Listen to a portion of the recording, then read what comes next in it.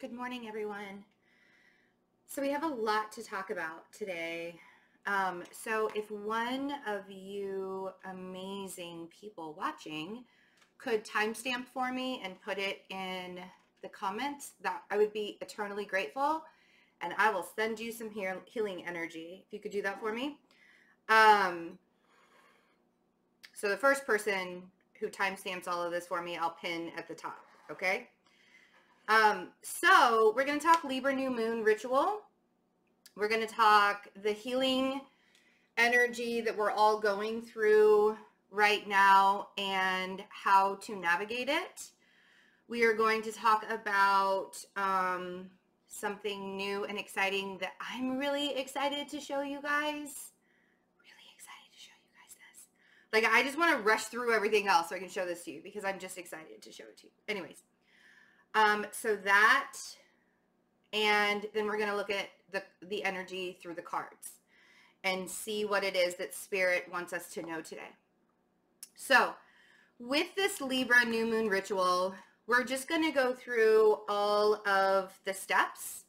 We're not going to do the full ritual right now. If you would like to be a part of the full manifestation ritual that we will be doing tomorrow for like during the actual new moon because the new moon is tomorrow and the new moon actually occurs in the morning at 9 degrees Libra but we will be doing the ritual tomorrow evening at 8 p.m. Eastern time. And if you'd like to be a part of that, you can register for it on my website. The link for that is in the description box below.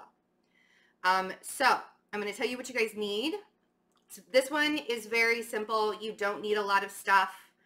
Um, you can improvise when it comes to the candles. Like I like to use, because what we're going to be doing at the Libra New Moon is releasing things into the universe and manifesting new things. Because this is a super moon, it's going to be very, very powerful. It's going to be one of those moons where it almost feels like a full moon. Okay. And during full moons, we release energy. And um, so with this new moon, because it's not a full moon, it's a new moon. With this new moon, we will, and it's called the dark moon. It's a super moon. Super moon just means that it's closer to Earth, so the energy is stronger. That's one of the reasons why it feels kind of like a full moon. Um, so I like to use a black candle for releasing and a white candle for manifesting and bringing in. So I have one of each. You don't have to have two candles if you have one candle that's pink or red or whatever, just use what you have. Don't rush out. but um, for me, I like to do this because my black candle releases into the universe because I get really in depth when it comes to my rituals that I do, okay? And then for me, white is manifesting and bringing it in.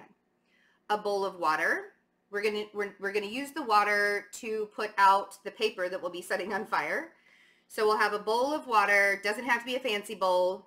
I'm just using glass. You can be aluminum or like the steel bowls, like a cooking bowl, whatever you have. Um, sage, whatever you have to cleanse yourself. You can use sage or Palo Santo wood. A lot of people ask me, what do I do if I'm traveling and I can't burn something where I am?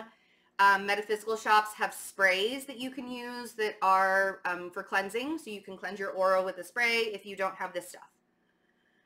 Um, if you don't, I highly recommend this. Sage is very inexpensive, especially if you get it on like Amazon and I buy it in bulk because I use it so much. Um, but like I bought a pound of sage last year and I have like a quarter of the bag left because it was a huge bag that came in. And I don't use the bundled up sage because I feel like this is a little bit more effective for me. I'm using the leafy sage and not the bundled sage, okay? And then you'll want a piece of paper and a pen to write your intentions down. And um, so like you'll just have a blank piece of paper and a pen to write your intentions down. So when we start, what you'll do is you'll start by cleansing your aura and again, we're going to do this whole ritual tomorrow night along with meditation and you're going to receive Reiki healing or Reiki healing transmit during that the whole ritual. So um, you cleanse your aura with the smoke of the sage or the Palo Santo wood, um, and like all your whole aura. And while you're doing this, I want you to say these words. I invite the pure divine energy to cleanse my mind, body, and spirit. May it fill me with clear light that I may shine out into the world. Okay, one more time.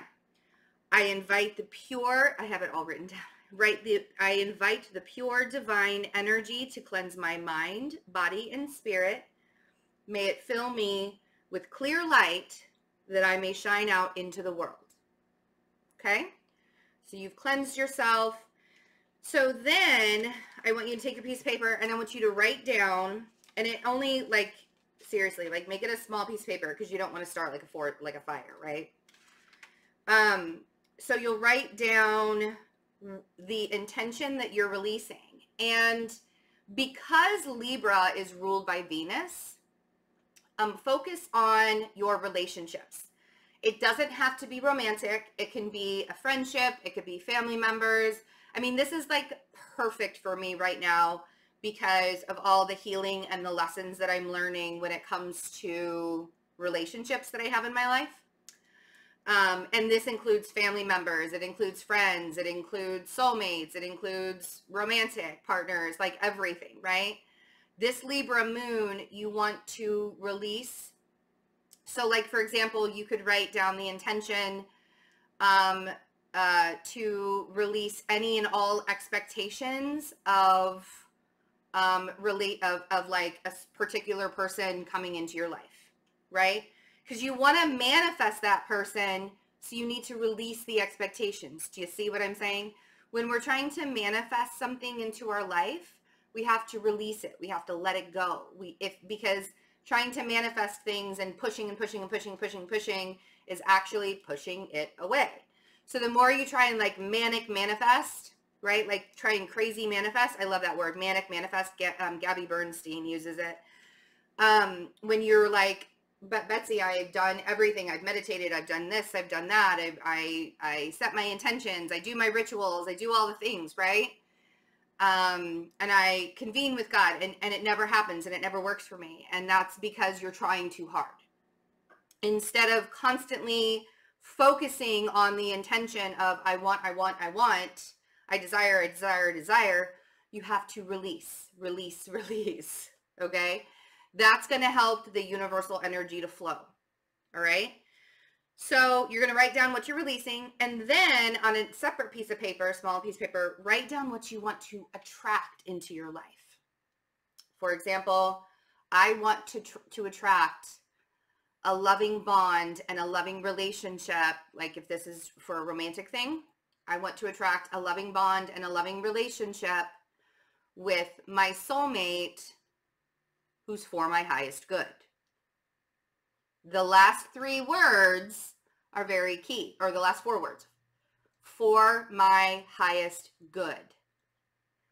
Because sometimes what we are trying to, what we want and desire and need, what we think we want and desire and need, isn't for our highest good.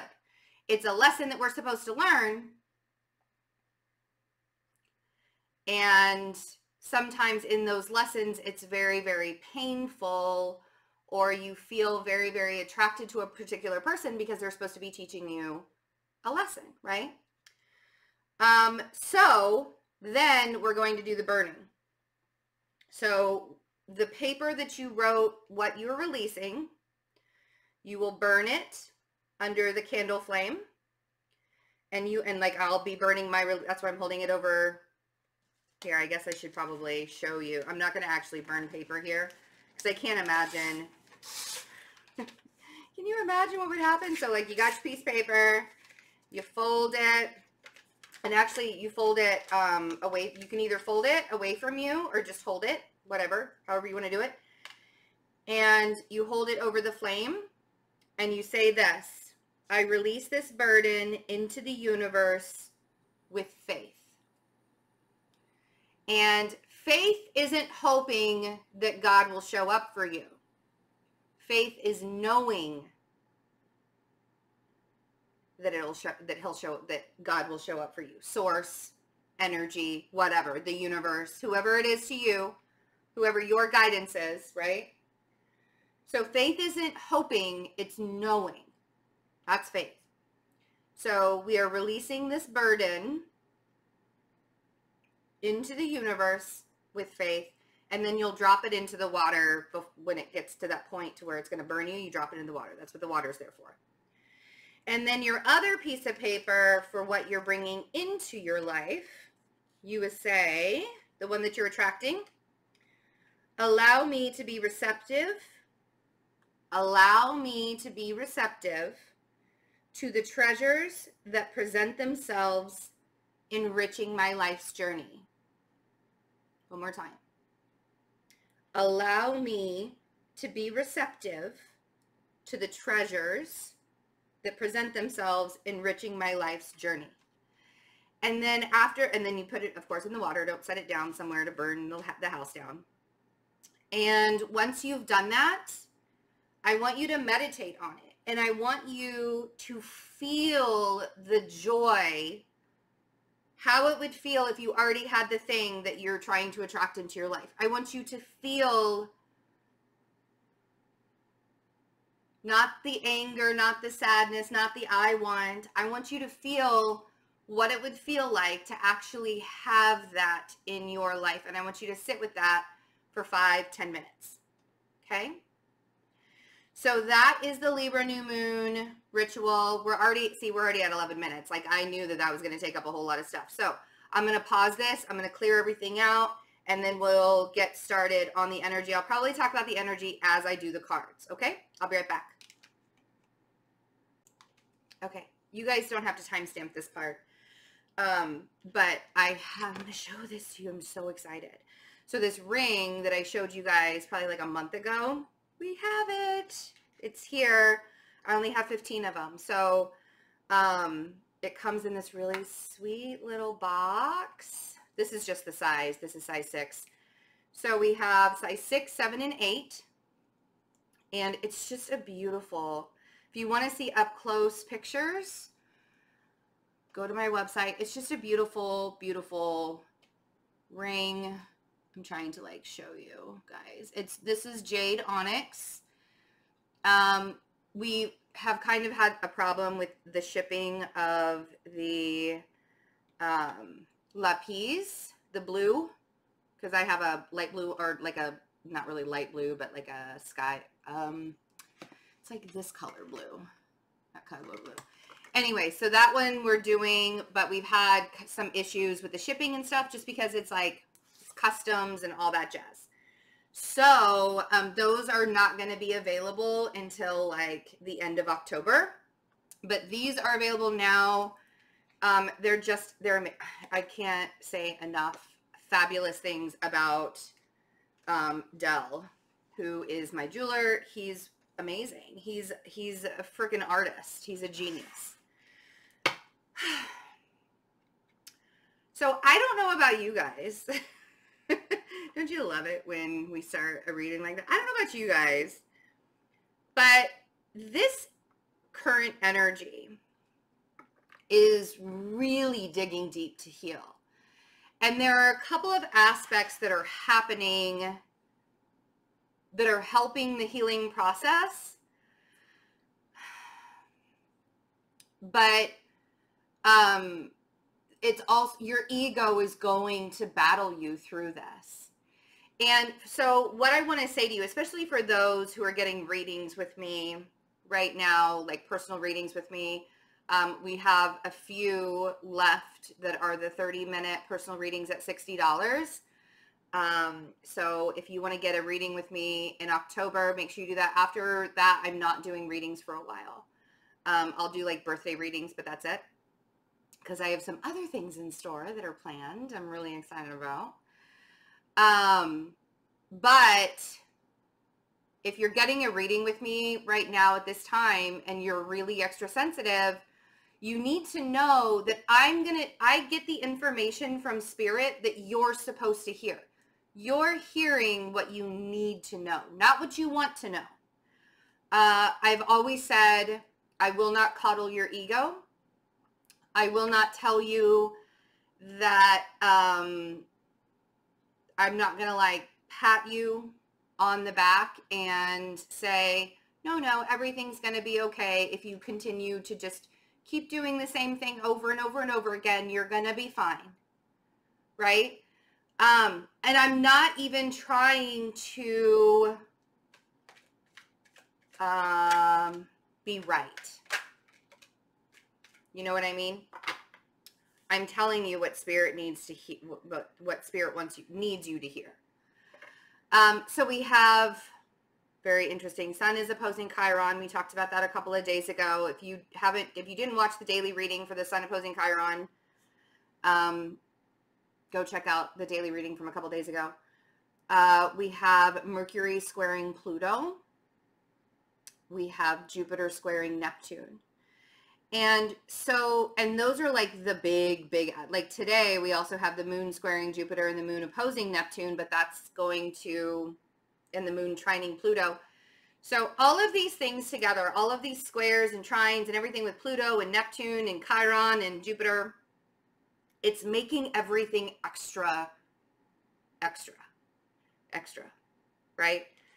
Everything you say, everything you put out there, everything you um, are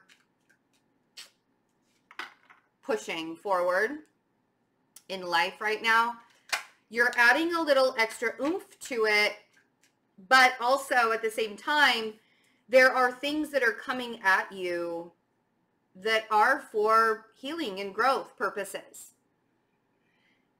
And again, I'll have people say, Betsy, why, why is this happening? Why do we have to go through this? Well, the purpose in life is to heal, learn, and grow. And be amazing. Your own kind of amazing, right? But we forget who we are. We for our we forget our soul. You know, we forget the soul's purpose and why we're actually here. Um and that's what the wake up call is. And then we have to go through a huge ego death. And when you're going through that ego death, sometimes it's very hard to hear when somebody is um, telling you what you need to hear, but you don't want to hear it. You're like, whatever, right? And again, it's it's the fact that you want to like the fact that that that right now the healing is so dramatic and it's so punctuated it sort of makes some people want to fight. I feel like there are decisions being made right now when it comes to stability, balance, moving forward, like all the things, right? And the decisions that you're trying to make right now, so, and I'll show you the cards here in a minute, but the decisions you're trying to make right now there are certain expectations that you're holding on to when it comes to these decisions that you really need to release like allow yourself to be to to free you need to free yourself from the hold of expectations. Expectations for yourself expectations for other people expectations of the universe. Because i guarantee you what's going to come you have zero i mean like you're literally going to look at all of that and be like oh i that was not what i was expecting right? Those words exactly. And i've said that so many times on my journey it's like not even funny anymore it's like oh wow i really wasn't expecting that. Okay all right. Plot twist right? There's always a plot tri- twist on this journey. But it's just because we um, hold ourselves to a certain standard and expectation and when we don't get that standard or expectation that's when we start to think, oh, well, the whole universe must be against me. It's not about the universe being against you. It's about you being against yourself. Because your true authentic self is trying to show up and you holding on to expectations of what things are supposed to look like is just fighting the universal flow, right? Okay, so the cards we have, we have the Two of Pentacles, the Knight of Wands, and the Knight of Pentacles. Okay? Um, the decisions that you're trying to make right now, it it's almost as if you feel like you make a decision and then everything slows down. And you're like, well, shit, okay, guess that wasn't the decision I was supposed to make. Maybe it was the decision you were supposed to make. You just have to be patient. You just have to allow yourself to get through the uncomfortable part of it, right? When it, it's like we make a decision and things start to slow down and life gets really uncomfortable because things start to slow down.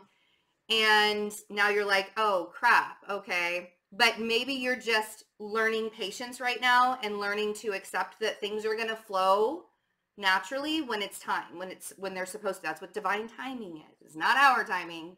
It's divine, right? So then we have the Page of Swords. I'm not surprised the Page of Swords is out. The Four of Pentacles and the Eight of Wands. When the Page of Swords for me is like this Mercury Pluto, Mercury squaring Pluto, because there are some harsh things that are being and it's not even it, it's not even harsh on purpose. I feel like there are harsh things being said right now or people are like coming out of the woodwork and really triggering you by their words because that's what mercury does. And you're the reason why it's happening is for you to take pause like I know where my healing is happening right now in relationship, like I said, with the, the Libra New Moon stuff in relationships and all of the things. I know where my healing is happening. And just the fact that um, you are becoming conscious, just because, just the fact that somebody is triggering you and you're becoming consciously aware of that trigger and consciously aware of like where you're supposed to be going, the next step that you're supposed to be taking, all of those things, right?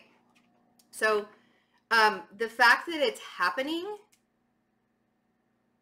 should show you that the energy is about to shift in a really big way. And when I say that the energy is about to shift in a really big way, I literally mean you're going to go from stagnancy or feeling really, really slow to things speeding up like in supersonic ways. And the reason why is because you finally stopped fighting it. That Four of Pentacles right here, this guy, once he releases his expectations of the fact, like the reason why the Four of Pentacles is about the miserly guy is because he's holding on to everything he has for dear life because he doesn't think that he's going to get any more. Right? And once you release and you become an open vessel to receive Eight of Wands. But you also have to look at it in all of the lessons that the universe is trying to teach you right now about yourself. Every single one of them is for your highest good and to heal. Because the universe, God, source, Buddha, whoever it is, right? Your guidance that you pray to or you meditate to is is is only working for your highest good. There is no such thing as um, the universe must hate me. I must be a very unlucky person. I must be this. I must be that. What it is, is if you feel like the universe is against you, you're actually against yourself. You're fighting against your very nature and yourself if you think you're extremely unlucky and bad things keep happening and bad things keep happening and bad things keep happening is because you're only focusing on the bad things that keep happening instead of making happy things, attracting happy things into your life. And how do you do that? You realize that you deserve it. You have faith. Remember, faith is not hoping that God will show up. Faith is knowing that God will show up releasing the expectations, right? So let's clarify the Two of Pentacles.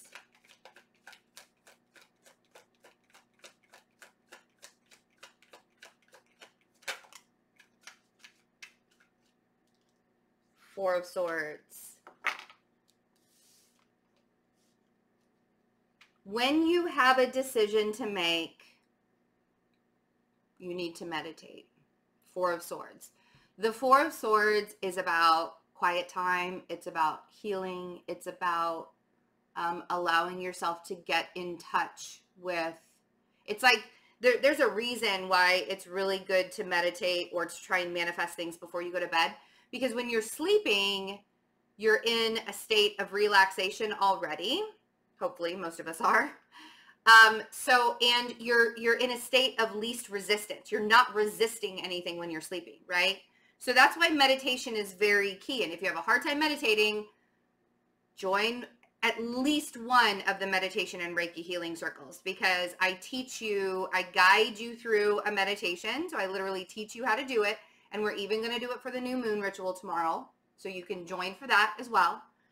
Um, come to at least one because then you get it recorded and you can watch it as many times as you need to. And each time it will be a different kind of meditation to manifest new things into our life, right? So when you're trying to make a decision, and people who have had readings with me, they know that I'm always going to especially if they've had multiple readings with me. And they're like, well, I'm trying to make this decision in my life and I don't want to know. And they always know my first question. Are you meditating? Are you getting quiet? Are you learning how to listen to that very soft whisper of your your higher self? Because the Knight of Wands is telling me also that I don't know, I don't, it's very wishy-washy, right? The nature of it is very wishy-washy. And we have strength on the Knight of Wands. So again, when you're in a state of disarray and you're like, I don't know which direction I'm supposed to be going in. I have no idea what to do next. Getting quiet and meditating will bring you strength. Okay? It will literally give you that, oh, ah, and sorry, channeling. Um, it may not be after the first meditation, but like as you do it more and you get used to doing it, and then you'll hear that voice be like, oh, I get it. Sometimes that voice, when I hear it, tells me things that I don't want to hear. And I'm like, oh, man. And then I just have to have faith and go that direction, whether I like it or not. It's not always, life isn't always going to be fun. It can be really fun but the more you overstress yourself, the more you overburden yourself, the more you push yourself to get things in life, the harder it is. The harder it is to attract. The harder it is to attract the things that you want, the more you stress the energy, right? Um, and this slow, steady pro see here, and this is the problem. The slow, steady progress of that Knight of Pentacles you're not seeing how that's benefiting you. You're not understanding, like, you're like, oh my God, why do I have to go through this? And it's taking forever for me to come out of it. Because you're not seeing the benefits of it. You have your eyes closed. Two of Swords. So we have indecision, indecision, indecision. And because it's going, it, it's not like, it, this isn't an instant gratification thing. The universe is not um, Instagram. It's not going to like hit a, a heart to, to make you feel instantly gratified about something, right? Yes, you look awfully cute today. Instant gratification, right? No, that's not that's not how the universe works. The universe works and says, yes, so you you want to receive all of this really amazing stuff. You want to receive and go on this really great, amazing adventure and journey. You want to receive this relationship. You want to receive, receive, receive, receive. But I'm giving you opportunities to grow because I want to give you the best of what you're asking for. This is not about mediocrity. This is not about playing small. This is about getting the best that, that you can be given. And sometimes that takes time. And when I say that, time doesn't exist. So it could take a week, it could take a month, it could take a year, it could take a decade. But it's all in the way you look at that time frame. This time frame is for my growth. I'm being groomed for it. I'm being prepared for it. And that's about being in alignment, which is something that I'll be teaching during my alignment course that's available on October 5th. Please come and be a part of it. And here's the thing is the more we fight the resistance, the more frustrated you become. And then you either lie to yourself or you go off on other people because you're frustrated. Whoa. Like, all right, we going to clarify that twice over? Yeah. Yeah, yeah, yeah, yeah. Do you know that manifesting things into your life can be can be as simple as just speaking the words? But the energy that you have to have, that you have to hold within your soul is that it's already yours. It already exists. And if you can't in reality like wrap your mind around the fact that what you're trying to manifest into your life already exists and is already yours that's when you have to go back into a higher consciousness and realize um, that the energy that you give to something is the energy you're going to get back from it. Okay? hear me out on this. I know that I know it's a little confusing. Again, we go more in depth during the self-alignment course um, so that it's easier to manifest things into life, into existence. But on the page of swords, we get the page of wands and the nine of cups. If you're manifesting from a place of sadness or anger or pain or healing, you're putting a negative energy onto that thing that you really want. And you don't want to receive that thing out of negativity. You want to receive that thing out of abundance and knowing that you deserve it and then it's already yours. And here's the thing is sometimes when we get to a certain place in our spiritual journey, the ego shows up and says, oh, this is, that's too good to be true. You're not going to get that. It's too, it's too good to be true. And so you start to hold on to everything that you already have because you're like, oh my God, if that's too good to be true, then I'm not going to be able to get anything else in my life. So I need to hunker down and hold on to everything. But if you can just transcend your ego by realizing that that is a big fat lie Nothing is too good to be true. It's the energy that you're giving to it. So here's an here's a good example because I know that a lot of people are not a lot of people, but there are some people that are like, I really want to have this particular person in my life. If you've had a relationship with a person and you had to learn a lot of lessons from them and there was a lot of toxicity between in that relationship, but because you feel the connection, you're trying to manifest that person into your life, there's already a blanket of negative energy around that manifestation before you even try. So when we're manifesting, it's for our highest good. And it makes us feel joy. If you're trying to manifest somebody in your life that made you feel really crappy, why would you even want to do that? You've already got a negative energy blanketing the situation. Do you see what I'm saying? So, because people will ask me sometimes, they're like, well, I've been trying to manifest and manifest and manifest and manifest this particular relationship in my life. And I'm like, so, so you don't know this person or you, oh no, we dated.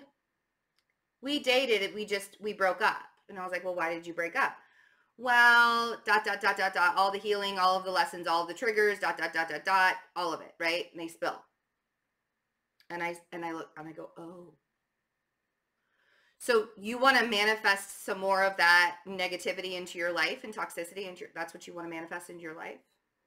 The waiting, the ghost, you want to manifest that more? No, but I want to have this person in my life. We have a connection. Oh, okay. Do you see what I'm saying? It's not, if it's not for your highest good and that's what you're trying to manifest, I guarantee you, you're going to be manifesting until you're blue in the face. Right? Don't hold your breath, basically. The universe is not in the game of bringing things into your life that aren't for your highest good. Now, having that relationship brought into your life to begin with was to teach you lessons about growth, about loving yourself, about like whatever it was. So at, there was one point that that relationship served you. But we all have to be real to ourselves and say,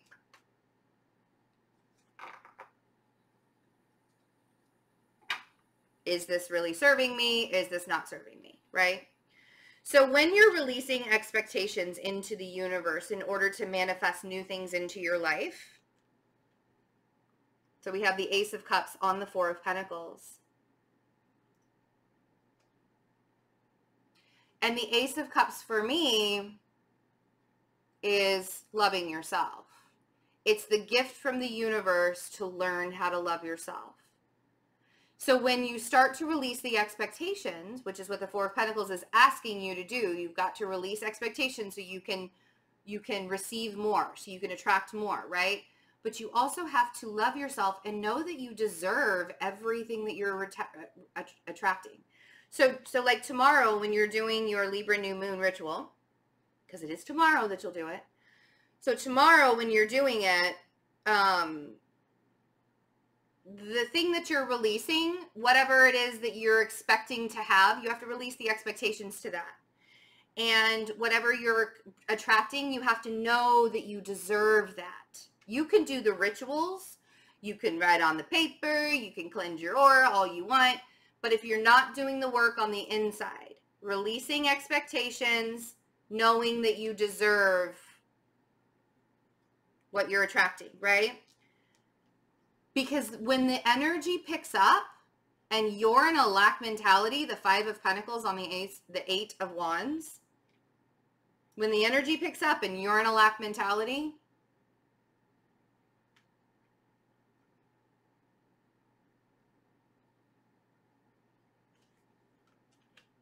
See what I mean? See how that happened? Because the universe wants to give you stuff, but you don't think you deserve it or you think that there's something that's too good to be true, right? And then we have the Four of Cups and the Fool. If you look at this, the, this is like the opposite of each other. The Four of Cups is very apathetic. He's not into receiving anything. And the Fool is like, you have to be open and vulnerable in order to receive. And that's the way it goes, right? And if you're not open and vulnerable, and if you don't build on your expectations or you don't not build on them you don't release your expectations and build on what you know that you deserve to attract into your life it becomes very difficult. And then you're doing this from a sense of lack mentality.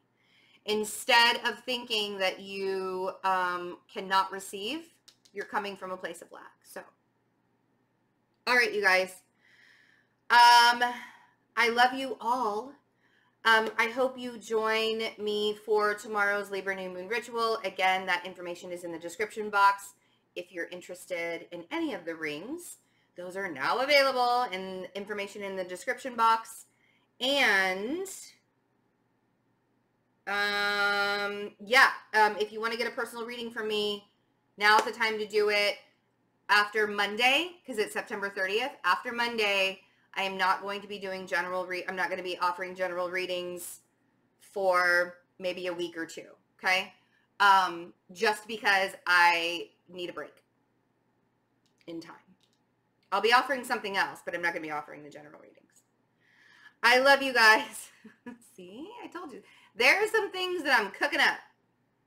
I'm always manifesting new stuff in, into existence.